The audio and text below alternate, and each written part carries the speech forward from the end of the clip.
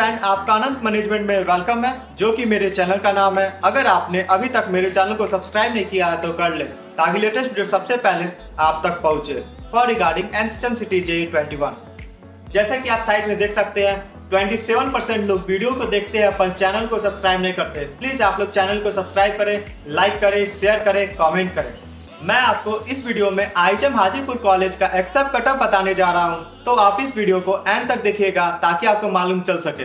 यदि आप IHM Hajipur college में एडमिशन लेना चाहते हो तो आपका रैंक जनरल से 13,000, EWS 13,500, OBC 14,000, SC 12,500, ST 13,000 approx rank रहना चाहिए तभी आपको आईएचएम हाजीपुर कॉलेज मिल सकता है।